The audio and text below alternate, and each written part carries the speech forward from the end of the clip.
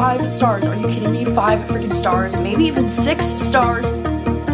Hey, how's it going? My name is Gabby. Welcome back to my channel, and today we're going to be starting on a reading vlog that is going to be a very special and different kind of reading vlog. Because today we're going to be reading two new release horror books in the dark. And you know, I've been really excited to read both of these books, and I thought maybe reading them in the dark would make them even more scary. And so that's what we're going to do for this vlog. The first book that I'm going to be reading in this vlog is this book called William, which all I know about this is that it's a horror book about this AI robot, and then like shit hits the fan. It sounds really interesting. I really do love this cover cover. I love like the eyes behind the door. I think it's so creepy. And then I'm also going to be reading Incidents Around the House by Josh Malerman, which is a new release horror book that came out this summer. I've been so freaking excited to read this book, but I decided to save it for October because it's actually going to be my book troop book club pick for the month of October. The live show for this is going to be happening very soon and I will have the link down below if you would like to save the link for the live show. I am so excited to read this one because I have heard nothing but great things about this book from all of my friends who have read it. And all I know about this book is that we're following this young girl. We actually follow from the perspective of the young child child, and she sees this creature that she calls Other Mommy in her closet. And so I thought reading this one in the dark would be extra creepy, you know, like I, I think it would be really creepy to read this in the dark. So let me send you back to a couple nights ago when I started on William.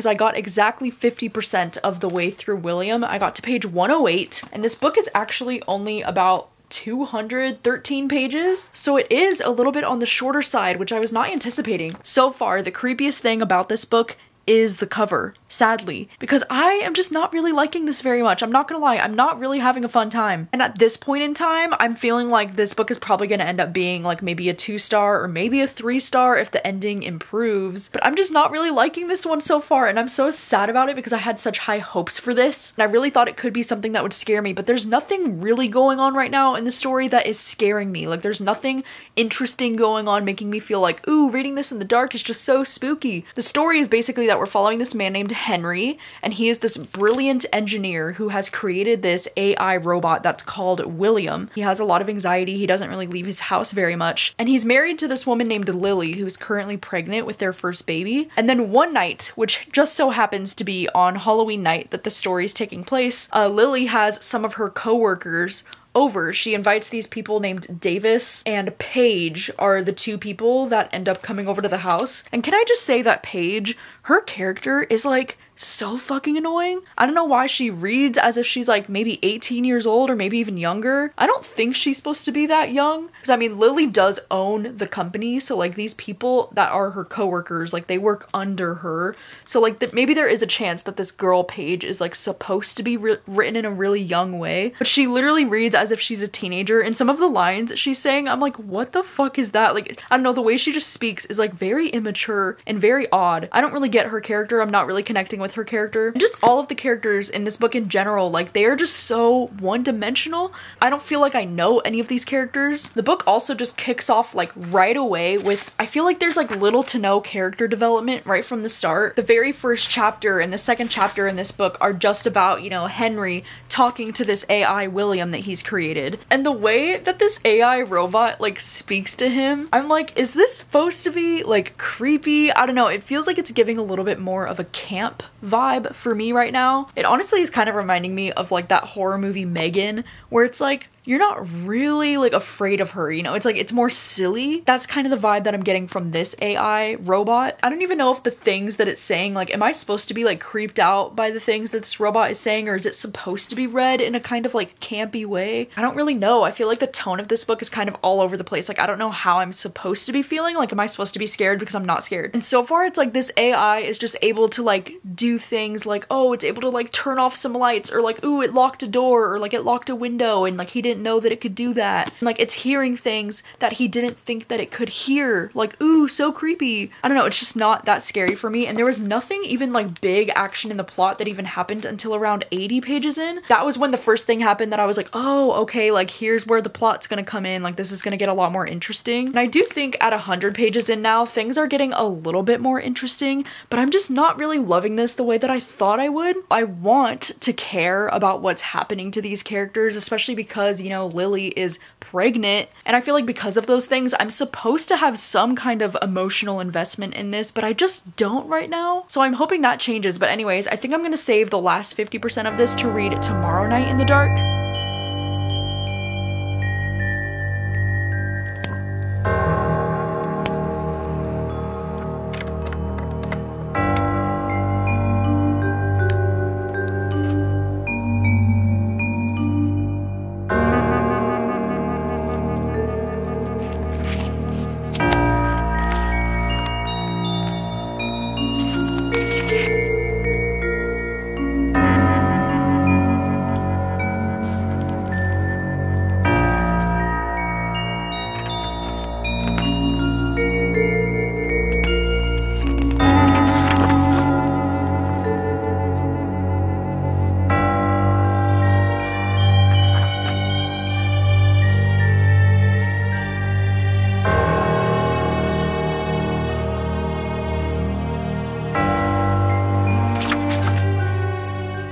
Just finished reading William and like what the fuck that ending. The ending of this book was so good. I definitely see the hype with the ending. There was kind of like a twist that happened that I didn't see coming at all. So that was really interesting, but then that final chapter. Oh my gosh. So I'm kind of torn over how I want to rate this because I do really feel like the second half of the book for the most part was still really slow. And I don't think that there was anything that creepy happening. Like, I just didn't find this robot William to be that creepy. I don't know, like, there was a few scenes that I guess you could consider to be kind of creepy, but I feel like I needed way more, like, build up and, like, suspense and, like, eerie vibes. Like, it just, I don't know, in my opinion, it just wasn't explained very well or in a way that really felt, like, suspenseful or, like, creepy. And maybe it was also because I just didn't really care about the characters at all. It sucks that I didn't love this, though, because I do feel like like this is one of those horror books that has so much potential. I could have seen this being a new all-time favorite if it had just done a few things differently. I mean, one, I think the characters should have been so much more fleshed out because I think the story just like starts right away and these characters are just so one-dimensional. Like I just didn't get attached to them in any way, so I didn't really care about the fate of these characters very much. And then the second thing is that even though this book is only 213 pages, I do think this would have worked better if it was like 100 pages shorter. I think if this was like a novella length, like if it was 100 pages shorter and the story itself was only around 100 pages long, I think this could have been so much more effective because that ending was good. You know, like this author clearly had an idea for this story. I love the direction that the story ended up going in, but I feel like so much of this story suffers from slow pacing and like the horror in this book is just not that creepy at all. And so much of this book and the plot just revolved around like this married couple and like their married drama and like their lives. I also think that if uh, the robot, like William, was written in a more creepy way instead of like a campy way. I mean, to be fair, I don't know if this book is intended to be kind of campy or if it's intended to be kind of like, you know, creepy. Like, I don't really know what the author's intent was, but to me, it just didn't really read that creepy. Like, I expected so much more from those creepy scenes. Ugh, ratings wise, though, I don't really know because I feel like this entire book, I was probably like thinking, like, yeah, this is gonna be two stars. But then because I loved the ending as much as I did, it kind of makes me want to bump it up to a three star just because that ending was so strong. Probably end up giving this one three stars because I do think that I will read more from this author in the future. I mean, I do like the idea of reading about like an AI in horror as well, but I feel like this book, it could have taken it to much more extremes, you know, and it just didn't do that. I'm glad I decided to start with this book because that means next I get to read Incidents Around the House by Josh Malerman. And I'm literally so excited for that one. I can't wait. Like, I feel like that one is definitely going to be a five star prediction for me.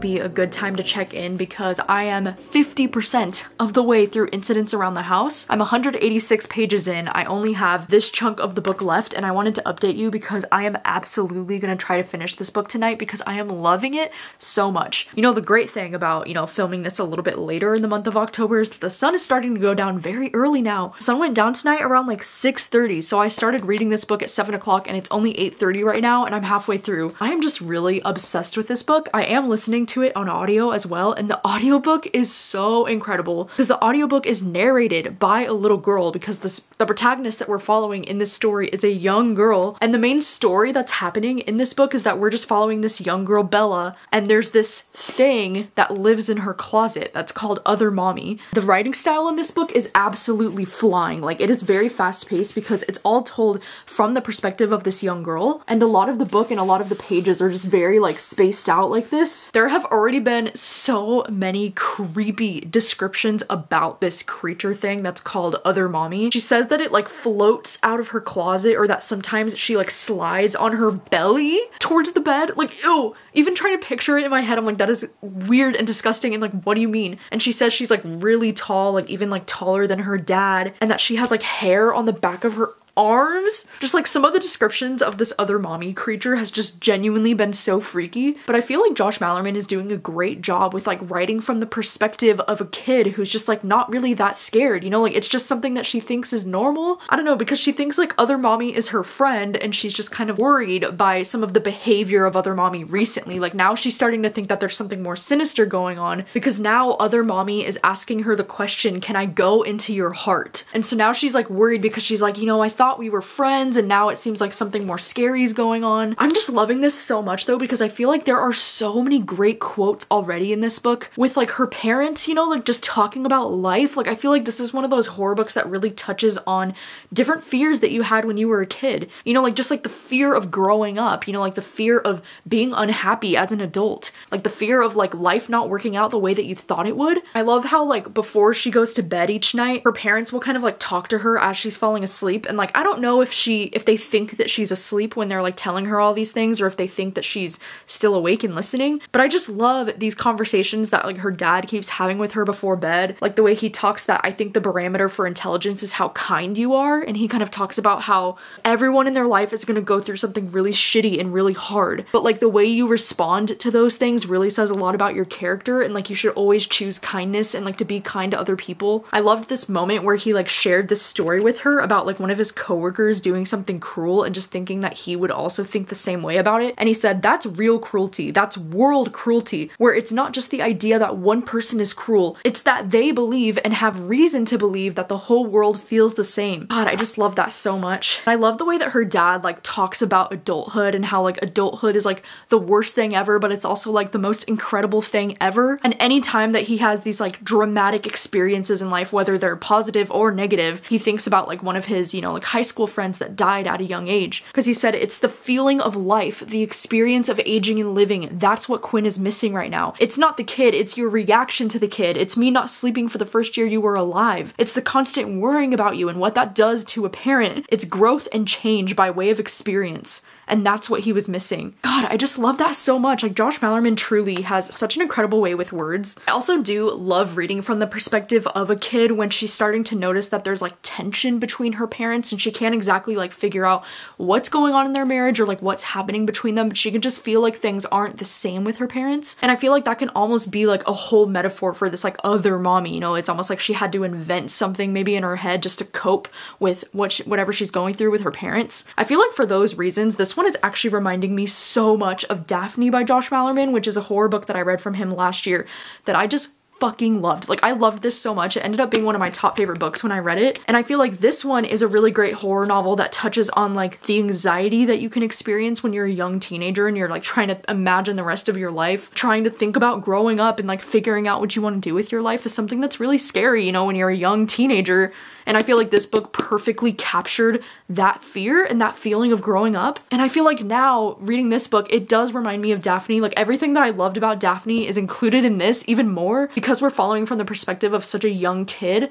It's just very refreshing. It feels very different from anything else that I've ever read. And I'm feeling so attached to these characters. Like, I love them all so much. Like, I love the dad in this book. He's definitely one of my favorite characters. I love this little girl, Bella. She's like so innocent and so adorable. I just love her little commentary. Like, I love when she said, but it wasn't a good night. It was a mean one. And I worry that tomorrow will be even meaner. It's just so cute. Like, she's so cute and adorable. And I love the way that she thinks about the world. I just love reading from her perspective. I also think the audiobook is so well done. Like, it's literally narrated by what sounds to be like a little girl. And she's doing it so well. Like, I really do love this audiobook. I think it's fantastic. I'm going to finish this tonight because I'm just so obsessed with it. I can't put it down. It's only 8.30 at night. I don't imagine it'll take me longer than like two hours to finish the rest of this. So I'm gonna get a mochi from downstairs. I just got some mango mochi at the store today. That's my favorite ice cream. Like the little mango mochis. Oh, the mango ones are the best. I mean, I do like a lot of different flavors of the mochi ice cream, but mango is superior in my opinion. I might also make a cup of tea because I'm apparently a tea person now. I just really like drinking herbal tea. You know, like it's really good for my GERD, so I like drinking tea before bed now.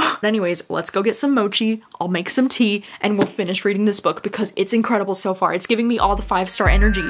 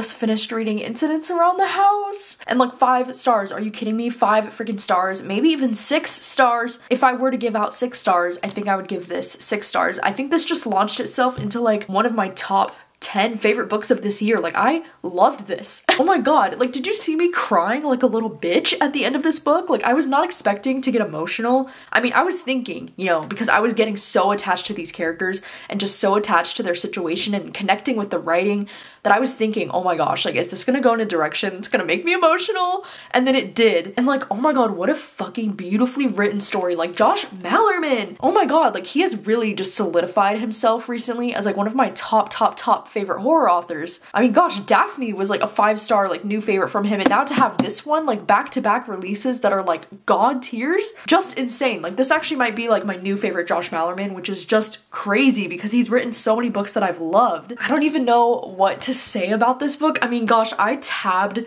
so many things in this book because there were so many beautifully written quotes and moments that I wanted to come back to that I just felt like were so thought-provoking and just so inspiring. I don't know, I really, really loved both the mom and the dad. Like, both of their characters were so interesting. They both felt so freaking real and so fleshed out. And I feel like so many people could relate to, you know, either of their situations because I feel like the dad, you know, he's very, like, optimistic and he wants to believe the best about the world and he wants to always have, like, a positive mindset on everything. Whereas, like, the mom is almost like the complete opposite. Like she's very much, you know, like a realist. Like she gets annoyed with his optimism because she's like, we have to be real about things. And I just really loved their dynamic as a couple. And it was so interesting to read about them through the lens and the perspective of their daughter, who like desperately wants them to be together and to be happy. And it was just so gorgeously written. Like there were so many scenes that like literally moved me to tears nearly. And I did cry at the end because the ending just got so emotional. But I just loved the way that these parents talked to their daughter. Like I just loved how real it all felt. I loved how realistic too this whole situation felt with like, you know, when these parents are figuring out about this creature called other mommy that their daughter is seeing. I feel like they handled it in such a realistic way or like a way that felt very real to like how something like this would actually happen in real life. And I just loved their family. Like I adored them so much and I was really shocked by different moments in the plot. I think the scenes with other mommy were so genuinely creepy. Like they were so creepy. And the fact that I was reading it like in the dark while I was like staring at my closet, I'm not gonna lie, like I did close my closet door because I didn't want to be like staring into my open closet while I was reading this book, like that's for sure. Oh my gosh, the scenes with other mommy were like truly disturbing. I don't know if this book like scared me more than Daphne did because I do think Daphne, like there are a few scenes from Daphne that to this day I still remember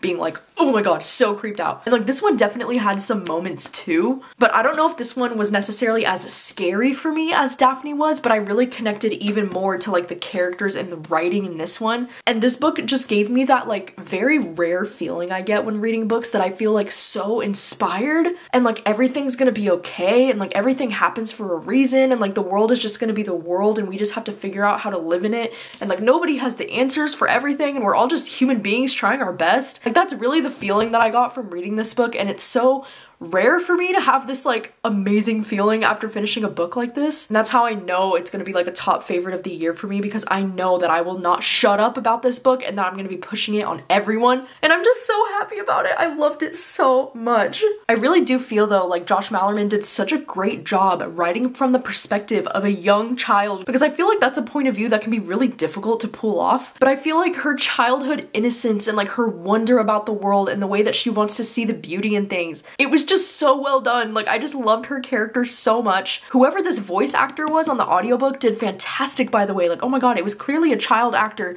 and she did so good. Like she conveyed so much emotion and fear in her voice when it was necessary. Like it was just so well done. I was very impressed. I feel like in some ways too there were some quotes in this book that kind of reminded me of The Troop in the way that they would talk about how like as you get older you start to understand that the world is a certain way or you start to accept reality for what it is. And so that's why it's harder for like older adults to wrap their minds around things like monsters and goblins and like demons because all of those things are like imaginary things from your childhood that couldn't possibly be real. So like I love the idea that like a monster or something that shouldn't exist or shouldn't be possible is like harder for adults to understand and accept than it is for children because children already have these like wild imaginations, you know? And it's easier for them to accept things that they don't fully even understand yet. And I just really adore the dad's optimism in this book and the way that he speaks to his daughter. Like, I just think that they're so cute. When he says, One day, this will all be something we got through. One day, the problems you have now will be like a legend in your life. I don't know a single person who got stuck in that same problem for the rest of their life. And I feel like that's such a beautiful way of looking at any problems, you know, that you have in your life that like nothing is forever, everything is temporary. And when they kind of touched on the fact that anything that you've been afraid of before, like you've overcome it because you're here now. I just think it's such a beautiful message and I just, oh my god, I love this book. I loved everything about it. I could literally write an entire essay about everything that I loved about this book and all the little details. I can't wait to discuss this book because this book is actually my book troop book club pick for the month of October. And so we're actually going to be discussing this one very soon on Friday, November 1st. And so I will have a link for the live show down below if you want to check it out and save the link because I'm so happy that another book club pick ended up going so well. Like we have another five star, like all time favorite. Like this might be my top 10 of the year. And that is just so exciting because it rarely ever happens for me. If you know my book club, it rarely ever happens that I actually get a five star. So this is a very special moment. I hope that you enjoyed it. I really did have a lot of fun reading these books in the dark, especially because more often these days, I do most of my reading like during the daytime or like the afternoon time.